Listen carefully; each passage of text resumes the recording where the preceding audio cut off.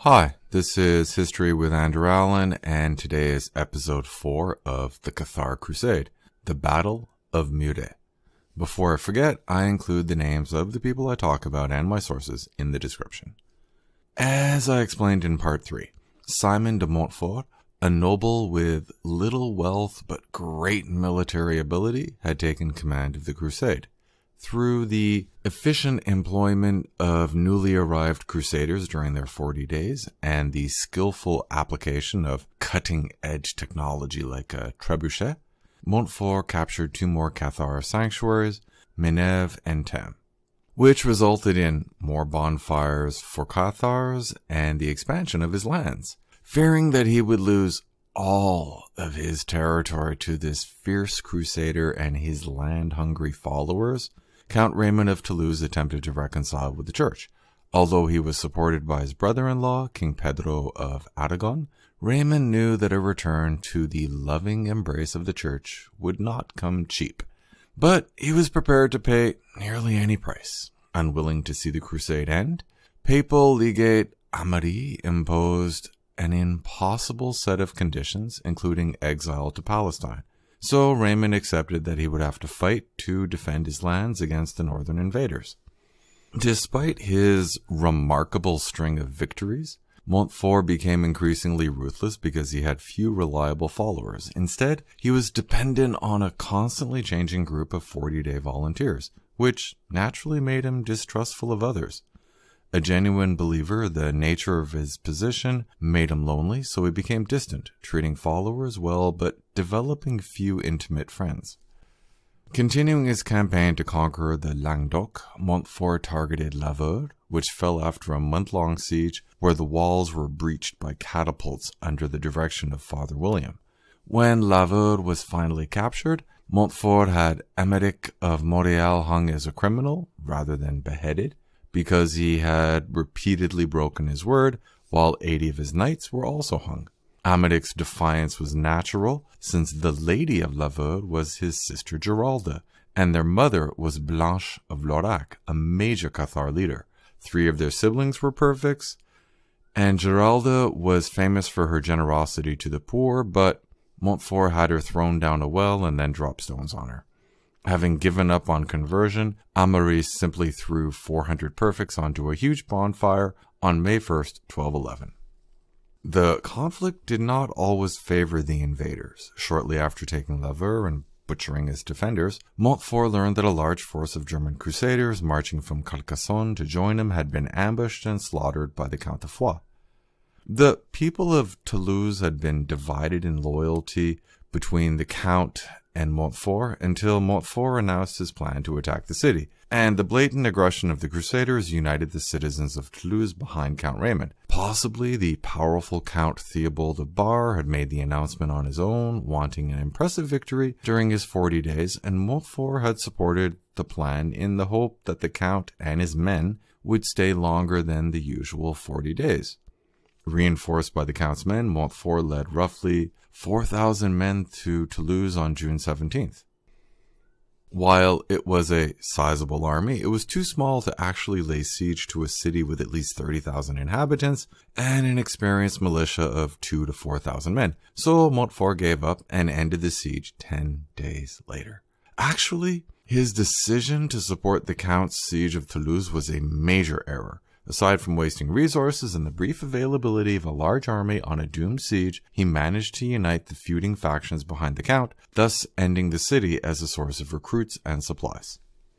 News of the departure of much of Montfort's army soon reached Count Raymond. Seeing an opportunity, he summoned his vassals and hired a thousand mercenaries. As he advanced, several of Montfort's garrisons either surrendered or fled. When a crusader convoy was blocked by a powerful southern force under the Count of Foix at Castelnaudary, the outnumbered crusaders were losing until Montfort surprised both sides by appearing with his knights. If he was defeated in the battle, he would lose everything, but he made a risky gamble. The gamble paid off. Brave and aggressive, the Count of Foix did not give up easily, but many of his allies panicked in the face of the more disciplined northern knights and retreated.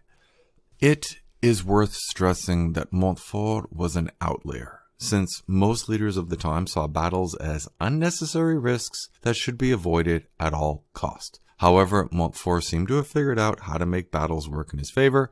Regardless of his military victories, castles continued to switch sides, showing that Montfort had failed to win the loyalty of the local lords. By the winter of 1211, the war had reached stalemate, but neither side would give up. The spring of 1212 was fruitless. Montfort only captured two minor castles, but was routinely shadowed by southerners, who avoided battle but ambushed any exposed troops. While nobles were choosing to join the Spanish crusade called by the King of Castile in January, Montfort survived long enough to receive a surprising number of noble recruits from northern France, Germany, and Lombardy in the spring, due to the oratory of the clerics preaching the crusade. These reinforcements enabled Montfort to capture the daunting castle Hautpoul on April 12th after a siege convinced the garrison to flee during the night. In fact, he received even more men in May, including a contingent led by Duke Leopold of Austria, allowing Montfort to organize two separate armies to capture even more castles.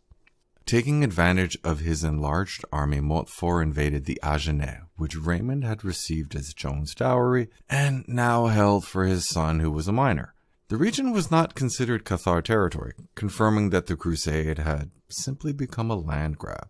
Montfort attacked the fortress of Penne d'Agenais, held by Hugh of Alfaro, a Spanish mercenary who had married one of Raymond's illegitimate daughters, an example of a mercenary entering the local nobility. Determined to defend the fortress, he had recruited 400 mercenaries. When the Duke of Austria left to aid King Pedro of Aragon against the Muslims, Montfort had to recall the second army under his brother Guy that was raiding Foix. However, despite Hugh's efforts, the water ran out, the besiegers were not leaving, and Raymond was either unable or unwilling to aid his son in law, so he surrendered in July. Moissac, the next target, proved harder to take, but the townspeople finally surrendered, agreeing to hand over the mercenaries and the soldiers from Toulouse, so 300 men were executed. Moissac's surrender on September 8 meant that Raymond had lost everything except for Toulouse and Montauban. Toulouse itself was bursting with refugees, landless lords, mercenaries, and Cathars. It is important to point out that the Southerners were not incompetent. While they were clearly outmatched in pitched battles, which prevented them from relieving major sieges, they more than held their own during the constant raids on each side's territory. Feeling secure, Montfort held a council at Pamiers at the end of the year where 46 articles were drawn up by a commission of 12 men four crusaders, four churchmen, and four southerners. Religious observance would be mandatory since everyone, including lords, would have to attend Mass and observe holy days or pay a fine. However, the key issue was the replacement of the southern legal system, where noble women could choose their husbands, with the northern feudal system where any marriage would require the permission of their overlord, namely Montfort, who could forbid any southern noblewomen from marrying nobles from the Languedoc, thus ensuring that the noble families with centuries of roots in the region would disappear. Despite his genuine piety, it became clear that Montfort was interested in carving out a new kingdom rather than rooting out heretics, since the bonfire stopped once papal legate Amaury left to become Archbishop of Narbonne. Anyway, the Cathars would be hard to find since they had melted into the population rather than gather openly in large numbers, recognizing that Montfort would simply capture any castle. It was a smart strategy. Rooting them out would be hard work, and Montfort preferred to extend his domains rather than pursue the objective of the crusade that supplied him with legitimacy and recruits. As a zealous crusader, Montfort should have rejoiced when he learned of a major Muslim defeat in Spain, but it threatened to destroy everything that Montfort had built. Well, destroyed and then claimed for himself. Christian crusaders won a stunning victory against the Muslims of Al-Andalus at Las Navas de Tolosa on July 16, 1212, and Pedro of Aragon had played a leading role in that victory. Even Montfort had fulfilled his obligations and sent 50 knights, while Archbishop Amaury had put on armor and fought on the battlefield. Fresh from his victory, Pedro sought to turn the crusade to his advantage.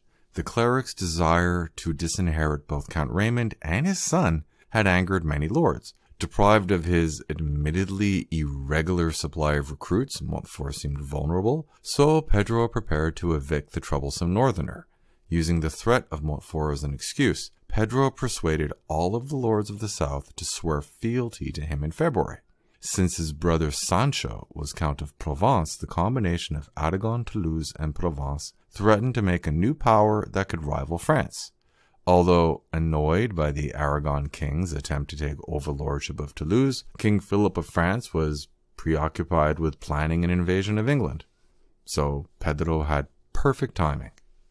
Actually, Pedro's control of the region was shaky, since the city of Montpellier was key and his relationship with the councils was strained. He had gained Montpellier through marriage to Maria de Montpellier, but attempted to annul the marriage in order to marry the heiress to the throne of Jerusalem. Infuriated by the potential annulment, the councils and the people of Montpellier rioted until the king finally abandoned the city in July 1206. The couple reconciled sufficiently to produce a son, but the conflict flared up again afterwards when Pedro attempted to restart the annulment process. As the hero of the hour, Pedro felt that he had earned the right to make a request of Pope Innocent. Abandoning any hope of reconciling his brother in law Raymond to the church, he proposed that Raymond relinquish his lands to his young son, while Pedro would administer the lands, scouring them of heretics, and raise his nephew to be a faithful son of the church. Furthermore, Montfort would cease his lawless incursions into the lands of Foix, Béarn, Comminges, and Couserans, who were Pedro's vassals. Innocent now had to make a choice between his favorite crusaders. The situation seemed favorable, since the Pope suspended preaching for the crusade in mid January 1213, preferring to focus on another crusade in Palestine. However, Amaury had grown to like his power and refused to end the crusade. Rallying the support of the local bishops, he told his recruiters in the north to keep preaching hatred against the Cathars to recruit men for the crusade. Montfort had even more to lose than Amaury, so he renounced his fealty to Pedro, publicly declaring his independence from the King of Aragon. After considering the matter, Innocent reinstated the crusade on May 21st, so more 40 day recruits arrived in the summer. Seeing an opportunity since Montfort was visiting Gascony, Raymond and the Counts of Foix and Comminges laid siege to the Castle Pujol, located just eight miles from Toulouse, in May. After a hard fought siege, the castle fell and all of the members of its garrisons were slaughtered, either during the final attack or they were hung by angry mobs, which shows the deep hatred towards the occupiers. This was the first Southerner victory in a long time, and the first successful siege, so momentum seemed to be on their side, especially after they learned that the King of Aragon was coming with an army. After being ignored by the Northerners every single time he had attempted to mediate, Pedro finally had an opportunity to avenge his humiliation. As Pedro advanced through Gascony, many towns and castles defected to him, Consulting with the Southerner lords, Pedro decided to attack Muret because it was part of the territory of the Count of Comminges, it was a base for Crusader raids, and it was a source of pride for Montfort. The militia of Toulouse brought siege equipment and had soon broken through the walls of Muret. But Pedro stopped the assault because he wanted to lure Montfort into relieving the castle, thus becoming trapped in a siege. As expected, Montfort showed up with his troops, roughly 800 knights and 1,200 foot soldiers and archers. Although Pedro had assembled a huge army for the siege, his cavalry only outnumbered Montfort 2 to 1, while Raymond's battle record was admittedly poor. He did have more experience fighting Montfort, but Pedro ignored his suggestion to build defenses and let the Crusaders attack. Actually, his suggestion was treated with contempt by Pedro's nobles. Pedro had accomplished his goal and trapped Montfort in the castle, but rather than surround the castle and either starve them out or wear the crusaders down and take an assault, he let the army come out to fight when it was still fresh, which reeks of overconfidence. While Montfort knew he was outnumbered and faced a dangerous opponent, it should be no surprise that he chose battle, since he always chose battle. Montfort led roughly a thousand mounted knights, leaving a thousand infantry to hold the castle, against an unknown coalition army which probably had one to two thousand mounted men and two to four thousand infantry, but much of the infantry was probably in the camp besieging the castle on September 12th. While Pedro should have been in the third reserve rank to direct the battle, he had chosen to be in the second rank, although he wore borrowed armor to avoid attention. Even though it was probably an accident, he died when the Crusaders' initial charge broke through the first rank to hit the second rank. Clearly, enough Aragonese knew where he was since once he fell, they broke. Unaware that the coalition cavalry had been routed, the Toulouse militia was taking advantage of Montfort's absence to finish what they had started and capture the castle. Bishop Fouque had observed Montfort's crushing victory and tried to warn his former parishioners among the Toulouse militia to leave, but they thought it was a trick and refused. Since no one had warned them of the defeat and Montfort's men were parading captured banners, the militia was taken completely by surprise and slaughtered. Hundreds were killed as the Crusaders took revenge for Pujol and the failed siege of Toulouse. Total coalition casualties are unknown, but it was a massive, demoralizing slaughter. Muret is one of the most decisive battles of the period, especially since it was fought by choice rather than by accident like Bouvines.